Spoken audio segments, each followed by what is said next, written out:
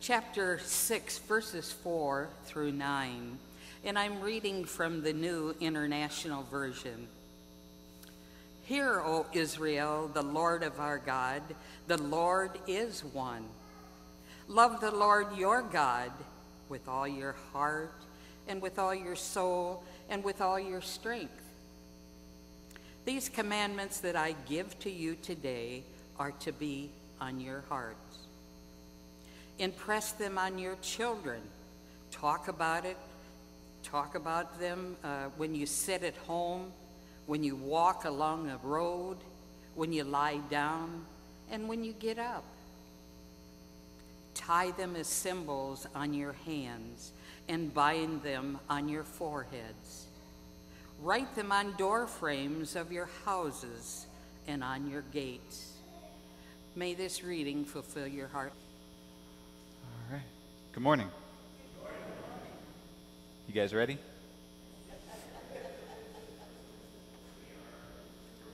I don't know. I don't know. I've uh, I've preached here probably ha- half a dozen times or so, and I still still get butterflies in my stomach. But um, what with it being uh, Fourth of July this past week, I, I, thought I might preach about um, about nationalism and, and the kingdom of God and and all that. But since I kind of want to keep my job a little bit longer, and uh, I, since I think that th- this subject is going to be a little bit more useful to us, um, I'm going to preach on on being relevant, and that's why I've entitled this sermon "Are You Relevant?" And uh, come to find out, there's a book called "Are You Relevant," which I haven't read, and now I feel like maybe I should have. Um, but that's what we're, t- we're talking about is just kind of asking the question: Are you relevant? Am am I relevant? Are we, as, as First United Methodist Church, are we being relevant? Um, and to, to, sort of help illustrate the, the idea that I want to communicate today, um, we're going to talk about what is probably considered, generally considered, the most relevant min- ministry in the church. And that would be youth ministry. So, go figure. Uh, but um, before we do that, uh, pray with me, real quick. Heavenly Father, I pray that you would um, speak through me. Uh, open uh, our hearts here, open our minds to receive what it is you want to communicate to us. Um, help us to set aside um, our pride, help us to set aside um, our, our tiredness from the week, help us to set aside anything that might hinder us accepting your word and, and the call that you've placed on our lives. We love you, and it's in Christ's name we pray. Amen. So, I don't know if you guys know much about youth ministry. Um, I had to go to school to study a lot about it. Um, and I, I, guess I grew up in a youth group, and it never occurred to me to ask, where did we get youth ministry from? Um, because come to find out, the book of Acts never talks about the first church's youth ministry program. Um, so I had to, to do a little digging. Uh, and so I'm going to give you guys a kind of a, a, brief history of youth ministry, and, and maybe that'll help us sort of flesh out what it, this idea of relevancy. Um, throughout most of human history, uh, the family, the, the parents, have been the, uh, the primary spiritual mentors uh, of children and young people. That's kind of why um, what that verse or those uh, that passage in Deuteronomy was talking about is this is God giving His command to the people of Israel, and then He tells the parents, "Now you guys teach this to the children. This you you live it out. Make it so much a part of your life." That it's just kind of the water that they swim in. They almost don't even notice it as they grow up. And so um, you know, things like talk about it when you sit down to a meal, talk about it when you're walking along the road or riding in the car, talk about it, uh, put, you know, post it in your house places. Um, keep this so much a part of your family's culture that your kids just sort of grow into it. And, and throughout most of history, it's been the parents who, who have been the primary spiritual mentors. Now, uh, churches and temples and synagogues have, have played a role in mentoring uh, young people, but the primary mentor was the parents. Well, as time goes on, uh, that sort of changed, and where, where we find the earliest foundations of youth ministry popping up was during the 1800s. In this, this about 50 year period between 1824 and 1875, um, at the time there were a lot of child labor laws sort of coming into play. And so there were fewer and fewer children working in factories and more and more children kind of just running the streets. And so churches felt like, well, we need to get kids off the streets. Let's get them out of the streets and into an environment where they can get some education. And um, so that's where things like Sunday school programs came up and uh, organizations like the YMCA and the YWCA. And this was mostly uh, focused on children because at the time, uh, teenagers still entered the workforce pretty young. Um, but this, this was kind of the beginning of what would become youth ministry. Um, in was it 1875, public high schools started to come into play, and that's when uh, churches kind of followed suit by it, it, public high schools brought teenagers now out of the workplace and, and, started putting them into educational environments. And so the church was like, well, we should do the same thing, and so started having things uh, for for teenagers.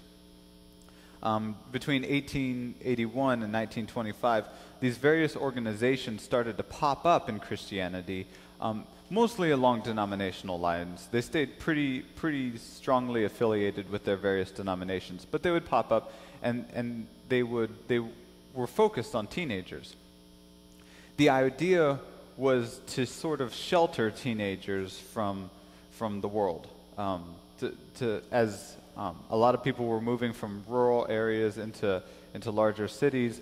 Um, young people were facing a lot of temptations and a lot of um, just the world being thrown at them. And so churches sought to sort of shelter teenagers from all of that. However, in 1925, um, what came the Scopes Monkey trial, which, in case you don't know what that is, it was um, a court case to decide whether or not uh, schools should teach evolution. And with that, um, when evolution was start being taught in schools, it started raising a lot of questions. Um, now, whether, whichever side of that debate you sort of land on, the point is it had a profound impact on the way churches engaged teenagers because now there came a bit of skepticism towards, um, towards faith organizations in the part of teenagers because they'd say, well, you're teaching me this, but when I go to school five days a week, I hear this. So um, it started to create a challenge. In the 1930s and 40s, churches began to take more control over their, over their youth programs, and it, it wasn't just an independent sort of thing. Um, in 1937, the first full time youth minister was hired at a Baptist church in St. Louis, and organizations like Youth for Christ and Young Life began to host uh, these outreach, these um, evangelism rallies in, in local high schools. In the 1950s and 60s, Youth for Christ changed their focus from big evangelism events to uh, smaller Bible studies. Most large churches by the 1950s and 60s began to have youth directors. And uh, in 1954, Fellowship of Christian Athletes, um, an organization a ministry on campus at high schools um, began. In the early 1970s, churches began hiring former uh, Youth for Christ and Young Life leaders to be their youth pastor. Um, and, so, and so by the 1970s, most of the medium sized churches, medium to large sized churches, have youth directors or youth pastors um, to, to focus specifically on teenagers. And then things started to get kind of weird. Um, in the 1970s, youth ministry became much more, uh, much more high energy, much, much more attractional. Um, the, we found out that we could, if you offer burgers or, or pizza and some games, we could start to attract pretty large crowds. And, and so, so the, the task became come up with new things to, to draw kids in. And it became more and more until you're doing wilder and wackier games and you're doing more extreme things. And at one point, towards the, the late 70s, early 90s, I don't, I don't know how this happened. It became a thing to, to sort of say, hey, if you can get you know, this many students to show up to this event or to youth group next week, um, the youth leader will swallow a live goldfish. And I don't know how, who, who said, yeah, that's a great idea. but um, it started happening. And then um, in the 1980s, a lot of the, a lot of the entertainment venues and, and uh, media sources began to really pick up. Um, things like MTV and Nickelodeon really started to have a presence in the life of young people. And th- this put a lot of pressure on youth programs to be even more exciting, even more entertaining. And now we have, we have pizza parties and, and we have live music and we have, you know, like worship rock bands and we have uh, big video productions and we have lights and sounds and we have the craziest, most wildest games that you can imagine. And all these things to try and to try and draw as many students in as we could because now it wasn't just us competing against um, the, the the dangers of society. Now we were competing against the entertainment sources of society. And this this went on for for a couple decades and and then then about the turn of the century the beginning of the 21st century youth pastors began to realize that teenagers were not as interested in youth group. We, we began to, to notice that, that we were losing them.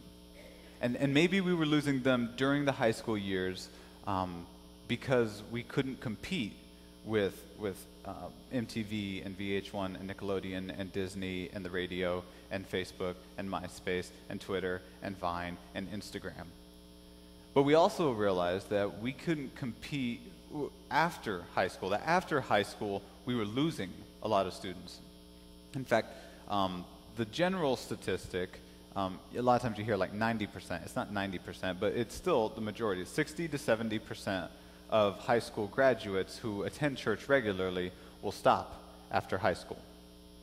Um, and usually there's this 15 to 20 year period where they just don't go to church anymore. And then when they start settling down they have kids of their own. After a while maybe they'll bring they'll start coming back to church. But during this period after high school we just kind of lose them. And youth pastors and youth ministers began to realize we weren't being effective. Um, we, we were not having a long lasting impact on students. Uh, dave wright He's a youth ministry coordinator for the Episcopal Diocese in, in South Carolina. He's kind of been in the youth ministry game for a while. Uh, he writes We created a consumer mentality amongst a generation that did not expect to be challenged at church in ways similar to what they face at school and on sports teams. In the midst of all this, church leaders and parents came to expect that successful youth ministry is primarily about having fun and attracting large crowds. You see, we'd become cultural, and somehow, in the mix of, of becoming cultural, we stopped being relevant. As, as more and more studies came out, as, as more and more research and statistics started to show, we as youth pastors began to realize that not only is that entertainment, attractional model of youth ministry ineffective over the long haul, it's actually damaging to, to the faith of young people because it creates the, this link in their mind between faith and fun. And when you have faith and fun together, then, then you're, you're solid, you're golden. But as soon as fun is gone, so is their faith. And, and I've seen it, I've seen it firsthand when, when young people stop finding fun in the things of God when, um, when the church just can't compete with the media moguls, um, they bail. They, they, they decide, well, it's not, it's not fun, so it's not for me. Um, I, had a, a, I have a friend who uh, was in the youth ministry game for a while, and he gave me this one bit of wisdom one time. He said, What you win them with is what you've won them to. Meaning that if you win them with, with pizza and games and fun and, and entertainment, then that's what you have won them to. You haven't won them to Christ or to relationships or to the church. You've won them to the things you won them with. Jon Acuff, uh, he's a Christian author, and uh, he used to be an advertising writer. He talks about this ad he saw in a paper one time. Um, this church put an ad in the paper saying, if you come to church on, on this day, you can enter a, a drawing to win a free car. And the idea was to get, get people to come to church. And he, he got on the church's website, and they were, they were giving away more than just a free car. They were giving away, like, I don't all you can eat buffets and stuff like that. Um, and the idea was to get people in church. But he talked about how, how that's not a good way to get people in church. He says, Study after study has shown that we are creatures of habit. We repeat ourselves. So if you attract a big crowd with a car giveaway, or a hot new worship band, or anything else, you create a, a relationship built on reward, not a redeemer.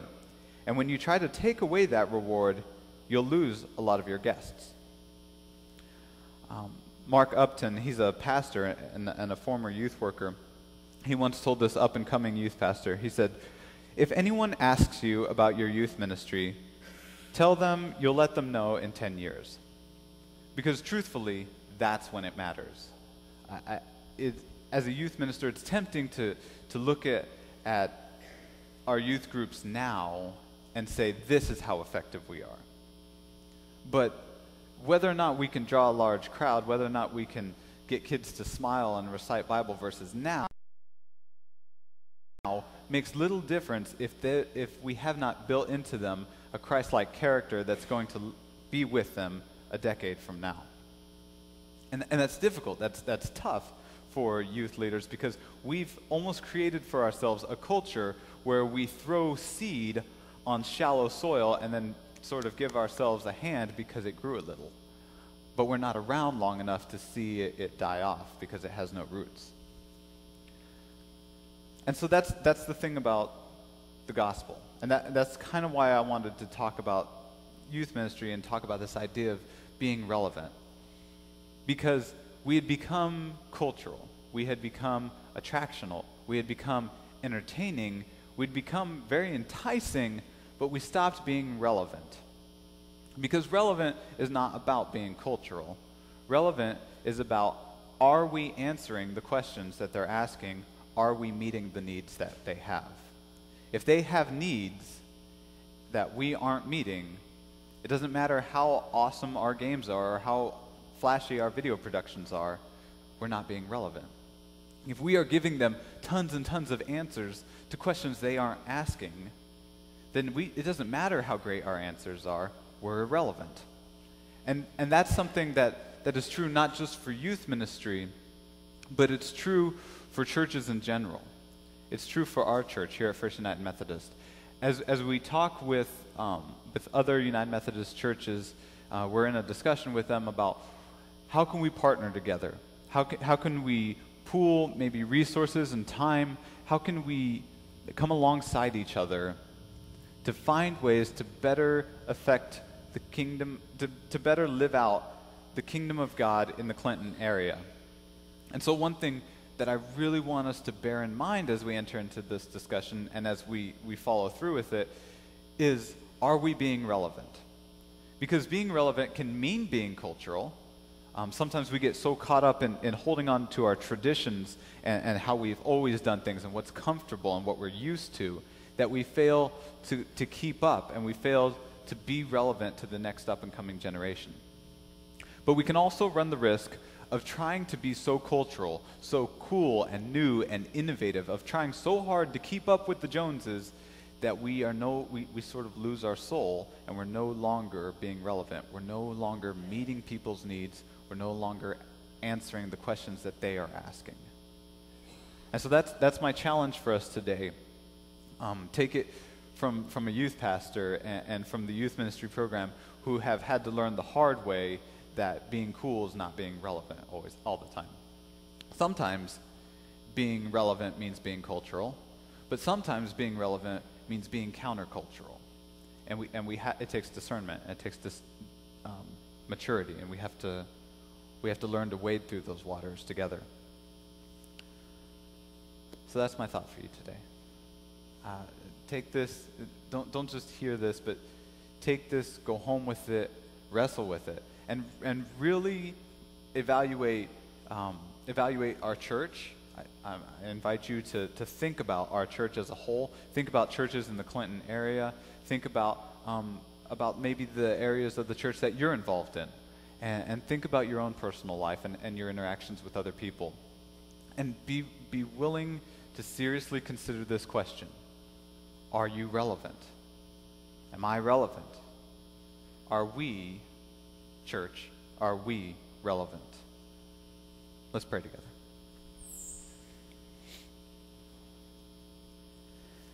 Heavenly Father, you are good, and you are loving, and you are kind.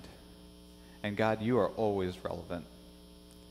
You're not behind us trying to catch up, and you're not often caught up in the culture, disconnected from people's needs.